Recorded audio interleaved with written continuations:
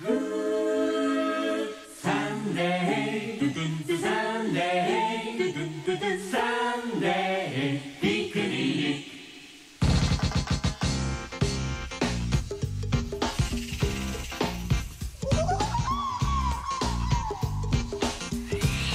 日僕のいとこが結婚式を挙げるのです。しかも相手の男性が僕の父の部下の人なのです。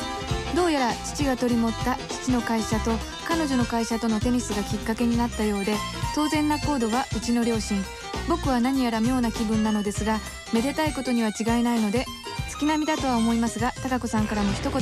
おめでとうと言ってもらえないでしょうか。僕は浪人なので模試があって式には出れずこれぐらいしかできません。よろしくお願いします。埼玉県所沢市のペンネームくりくるみ割り人形さん。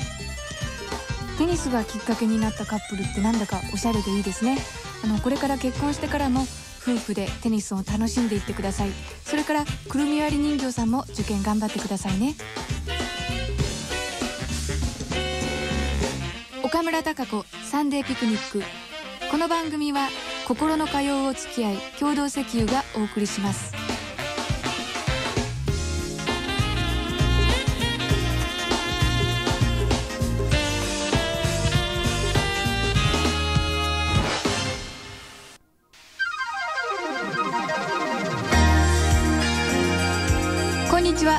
お元気ですか？岡村孝子です。サンデーピクニック11月8日のオープニングは札幌市の本田智博さん名古屋市のみおちゃん鹿児島県指宿郡のたかちゃんの兄貴さん仙台市のテニスは見に行けましたか？さんのリクエストで私の新曲を聴いてください。笑顔にはかなわない。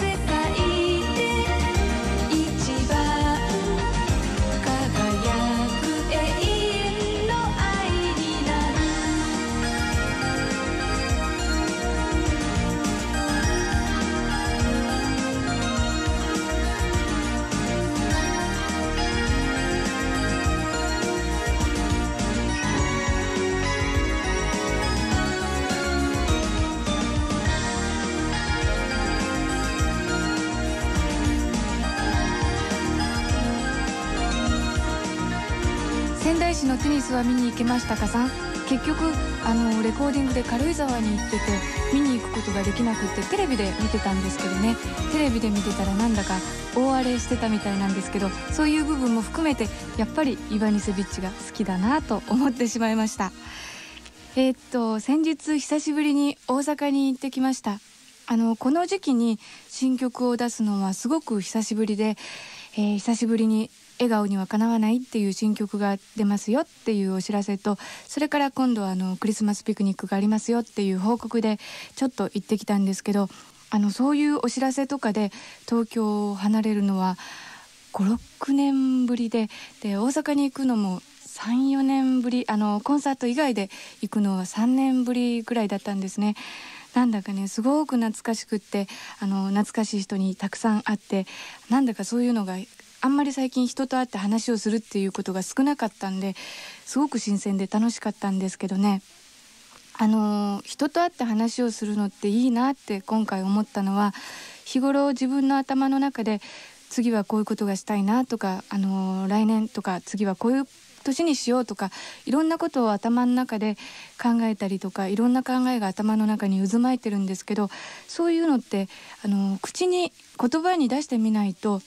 漠然としててよくわからないんですよねそういうのが一旦口に出してみるとすごくはっきりあの自分でまた確認することができていいなと思ったんですけど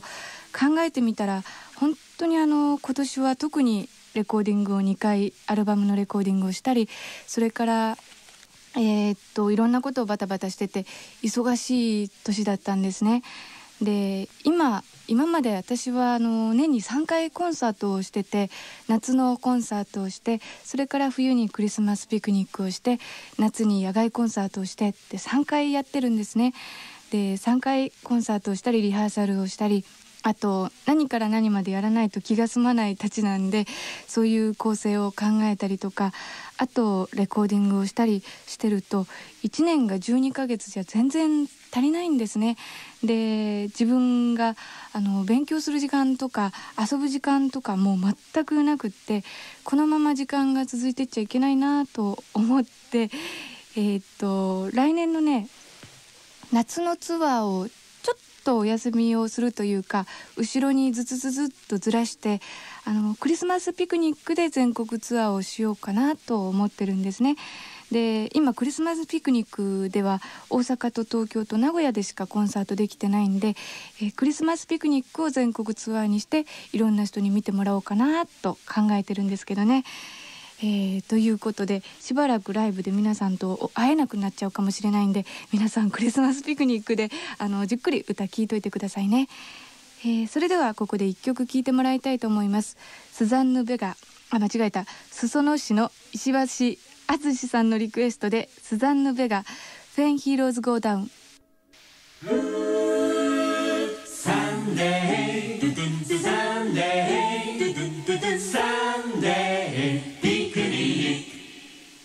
岡村孝子サンデーピクニック。今日もたくさんおはがきをいただきました。どうもありがとうございます。えー、っと早速お腹が鳴っちゃった。おはがきを読んでいきたいと思いますけど。えー、っとまずはこれ住所が名前も住所も書いてないんですけど消印がトヨタの方かな。私はいつも楽しく岡村さんの話を聞かせてもらってます。そこで最近付き合っている彼とのことで話します。彼とは初めの方は学校でもうまくいっててルンルン気分の毎日だったはずがこの頃彼が取る態度を見て喜べないのです。もちろん前までは、うん、前までとは変わりなく目があったら微笑んでくれたり帰りに手を振ったりしてくれます。どうしたものかと友達に相談してみると一時的なものだと言いますがそうでもないようです。彼の悪いところばかり目に入ってしまい好きなはずなのに私の心からはみ出そうで怖いのです。青春真っ只中。ということで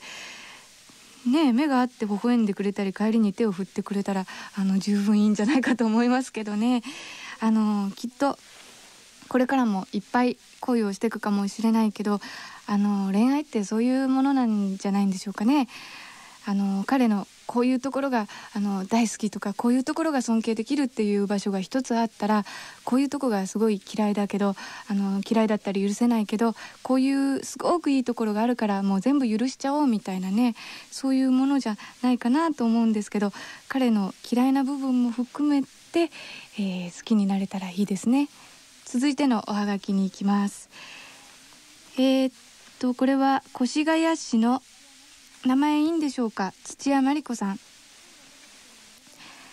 今日は高子さんにお願いがあります。私の夫は4月から1年間の予定で外の病院に勤務をしています。半年を過ぎあと残り5ヶ月というところでちょっと疲れ気味です。仕事に厳しく手を抜くことの嫌いな人なので人一倍頑張っているのだと思います。そこで夫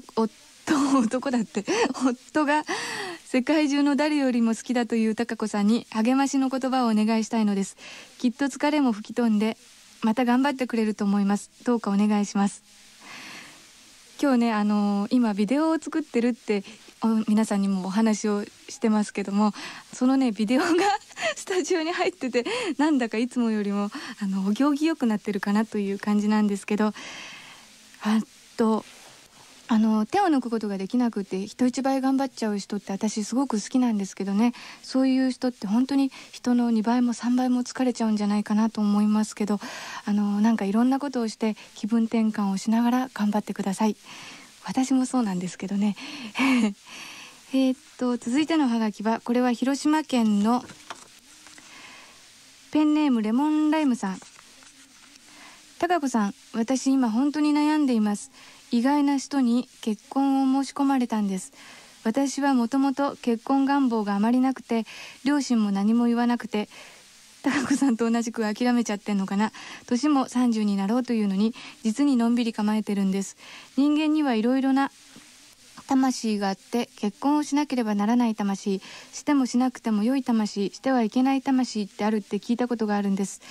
自分がどれかってことは分かんないけれどあれこれ考えてみてもなるようにしかならない。焦らなくてもいいと思ってます。ところで彼に対しては友達以上の感情を持っていなくてとってもありがたいことなんだけどどんな風に言っても彼を傷つけてしまいそうでほとほと困ってしまってます。あちらこちら友人に相談してみたのですが結局は自分で決めなくっちゃならない。あんどうしよう。いつまでもいいお友達でいたいのなんて言葉しか出てこない今の私です。ではお元気でさようなら。なんだかちょっと贅沢なお話ですけどね。あのー、でも結婚しなくちゃいけない魂とかしなくちゃならしてしちゃいけない魂とかじゃなくってあのしていい時期と別にしなくていい時期っていうのがあるんじゃないかなと思うんですよね。だからあのそういう相手じゃないなとかそういう時期じゃないなと思ったら焦らなくてもいいんじゃないんでしょうかね。別に。えー、っと続いてのハガキは札幌市北区のペンネーム心模様さん。最近私は健康と体力づくりを兼ねて昼休みに走ることにしています。約4.5キロのコースを20分かけて走るのですが走っているといろんな自然に出会えます。向かい風の時はさすがにきついですが爽やかな秋風が横を吹き抜けていきます。前には青い空が広がり遠くには白い雲が流れています。左手にはポプラがそびえそして目の前を落ち葉が舞っていきます。それはまるで金のシャワーです。走り終わると心地よい疲労感とともに爽やかな汗が体を流れます。本当に気持ちがいい汗です。北海道はもう晩秋の色づきです。あと1ヶ月もすれば雪が積もりそして溶けなくなります。ほぼ3ヶ月間街は白い世界に包まれたままになります。そんな冬になる前に自然が最後の力を振り絞って我々にいっぱいの恵みを与えてくれるのです。そんな自然に感謝したいと思います。PS クリスマスピクニックたまには札幌にも来てください。ということでね。いや札幌って今一番いい季節なんでしょうね。あのこの季節の北海道ってしばらく行ってなかったんですけどね。あの来年のクリスマスピクニック冬にお邪魔しますので待っててくださいね。頑張って体力づくりも続けてください。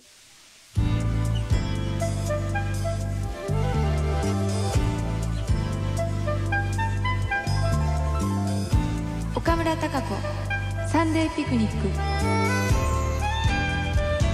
サンデーピクニック音楽館。最初はこの秋素敵な出会いがありました。というフォーリングラブさんと酒田市のミラージュさんのリクエストでロバータ・フラック優しく歌って。続いては久しぶりにハガキをくれた岩手県江刺市の千葉文隆さんのリクエストでマットネスシティインシティ。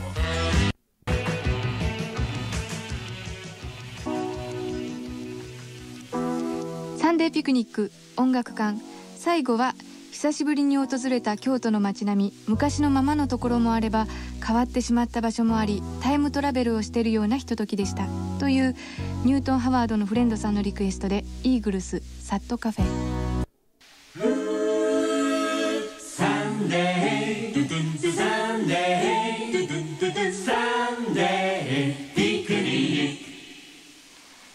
デーピクニックときめきコミュニケーション。今月のテーマはどうしても素直に喜べない出来事です、えー早速はがきを紹介していきます。まずはこれは札幌市北区の名前いいんでしょうかね。長尾真二さん。いいのかな？高子さんお元気ですか？あれは約2年前の高校1年の土曜日。風邪をひいて学校を早退しました。ここまではよくある話なのですがその時の担任の先生がそのことを忘れていて僕は皆勤賞をもらってしまいました。あと数ヶ月で卒業ですがもしかすると3年間1日も休まず学校に通ったということになってしまうのでしょうか。ここだけの話ですよ高子さん。なんちゃって。これでもうならないんじゃないかなという気がするんですけどね。でもあのいいんじゃないですか？黙っていれば。もう先生も知っちゃったんじゃないかなという気がするんですけど。えー、と続いてのハガキはこれは東京都杉並区のペンネームじゃなくていいんですね。岡夏子さん。この前高円寺を珍しくモノトーンの服を着て歩いていたら突然変な人に声をかけられ店内に入れられ化粧されてしまいました。お姉さん21くらいでしょ？肌がきめ細かいからきっとお化粧のノリがいいわよとか言われいえ14歳なんです。中学生なんです。なんて言う暇もなく化粧をされ秋の新色の口紅を5本ももらいました。ただで親にはいいことよもっともらってきなさいとか言われ喜ばれたのですがこれって老けて見られたってことですよね。お化粧なんて全然してなかったんですよ。友達にはいいな大人っぽく見られてって散々言われましたが素直に喜んでいいことなんでしょうか。PS お化粧って顔が引きつりそうです。あペンネームが出てきてしまいました。どうしましょう。なんだか今日はぐちゃぐちゃになってますけどね。でもあの老けて見られたっていうよりもやっぱりあの最近のね学生さんってすごく大人っぽいから大人っぽく見られたっていうことでいいんじゃないんでしょうかね。私も高円寺あたりを歩いてたら5本ぐらいタダでもらえるんでしょうか。えーっと続いては埼玉県のペンネームスカイウォーカーさん。今の時期20代も半ばを過ぎた私が素直に喜べない出来事といえば友人同僚の結婚です。おめでとうという言葉はいくらでも言えるけど心の中はかなり複雑です。彼氏もいない私は焦る気持ちが先に立って正直なところ心から祝福したことはないかもしれません。11月中旬に同僚の2つ年下の女の子が結婚し職場の中で独身女性は私一人になってしまいます。当分の間肩身の狭い思いをすることになりそうです。でも結婚的利益なんて人それぞれで幸せになれればいいんじゃないかって思うんですけどこれってただの負け惜しみでしょうか？いやあのよくわかりますけどね。でも本当にあの人それぞれだから別にねあの焦ったりとかあのひがみっぽく思わなくてもいいんじゃないんでしょうかって結婚をしてない私が言ってもちょっと説得力ないかもしれませんけどね。あのでも大丈夫です。そういう時期を過ぎればもう人は人自分は自分っていう時期がやってきますから。それでは一曲聴いてください。春日井市のグラベットグラタンさんのリクエストで T ボラン話したくはない。続いてのおはがきを紹介します。愛知県豊田市のペンネームめちゃさん。どうしても素直に喜べない出来事。それはまさしく今年の誕生日です。29歳でまだ独身の私にとって30歳になってしまう今年の誕生日はただでさえ喜べないのに今年のその日11月13日は不吉なことが起きるという13日の金曜日そして仏滅なのです。先日はもうとっくの昔に廃れたと思っていた不幸の手紙が届きました。そして追い打ちをかけるかのように今朝私の運転する車の前を黒猫が横切っていきました。何かとんでもないことが起きるのではないかと恐れていますがもう今となっては30代最初の日が最悪ならばあとはそれ以上悪くはならないだろうと願うばかりです。というなんかすごいことが重なってきてしまいましたけどね。未だに不幸の手紙なんて書く人いるんですね。あの大丈夫ですよ。素敵なことがきっといっぱい待ってると思います。あのお誕生日が素晴らしい日になりますようにお誕生日おめでとうございます。えー、っと続いてのおはがきはこれはロングさん。もう住所も何にも書かずにロングとだけ。こんにちは高子さん。今回のテーマはどうしても素直に喜べない出来事でしたね。ありますあります。友人ところに行くとその友人の子供に気に入ってもらえるらしくいつも一緒に遊んでるのです。それは嬉しいのですがなんせ友人ところのその子供は私のことをお父ちゃんとかおっちゃんとか兄ちゃんとしか呼んでくれないのです。でもそれも全て私が来たらおっちゃんが来たでというその子供のお父さんが悪いと思うと書きたいのですがお父ちゃんとかお兄ちゃんとかは誰も教えていないので不思議です。うんどうしてこんなに女っぽい私のことをおっちゃんと呼ぶのだろうか。やっぱり子供って素直ですからね。あのーでもね私が本当の話最初にロングさんに会った時も可愛い男の子だなって思っちゃったんですけどね。えっと次のハガキに行きます。天郡のペンネームキリノラルさん。なんか今日は愛知県関係の方が多いですね。今月のテーマどうしても素直に喜べないことにぴったりのことがあったのでお便りします。10月 ,30 10月31日の午前2時ぐらいに僕は原因不明の引きつけを起こしてしまい初めて救急車に乗りました。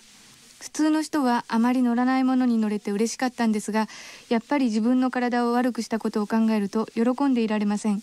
こんな時でも嬉しかったことが一つあります。それは行った病院の看護婦の中山さんがとても可愛らしかったことです。でも点滴が少し漏れて腕が青あざになってしまったのでもう少し針を刺す練習をしてほしかった。高子さんもこんな風にならないよう体に気をつけて仕事にも恋愛にも頑張ってください。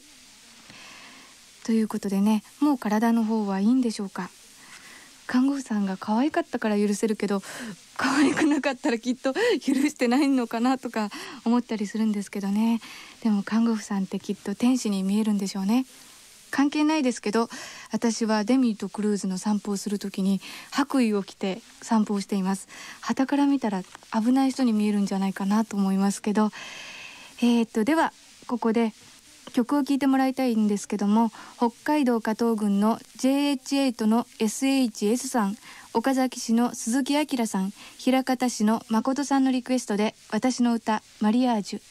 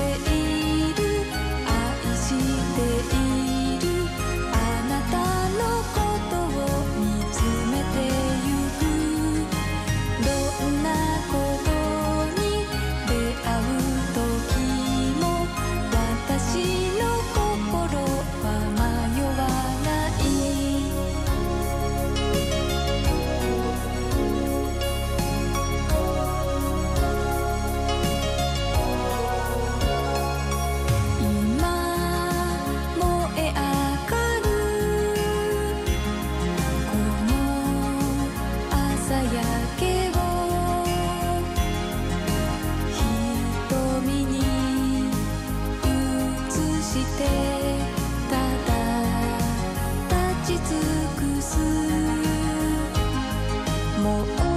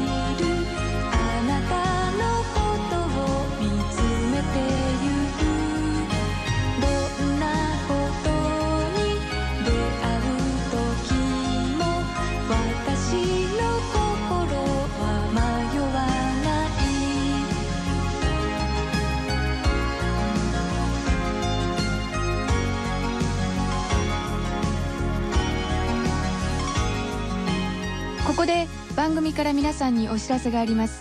12月13日のサンデーピクニックでは私の曲のカウントダウン。12月20日のサンデーピクニックでは私の曲の中からクリスマスに聴きたい曲のカウントダウン。そして特別番組岡村孝子ウィンタースペシャルでは私のバラードセレクションアルバム「バラード」の中からバラードカウントダウンを放送します。そこで私の曲の中から一番好きな曲クリスマスに聴きたい曲バラードをそれぞれ1曲ずつ募集します。はがきはもちろんテレフォンボードファックスでも受け付けますのでぜひ参加してください。はがきで参加の方は郵便番号102-80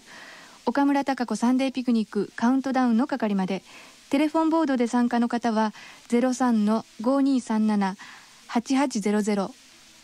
えっ、と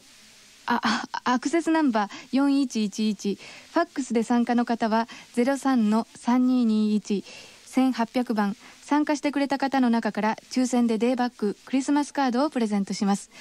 なお特別番組岡村孝子ウィンタースペシャルバラードカウントダウンは放送局によって放送日時が違いますのでお聞き逃しのないように注意してください。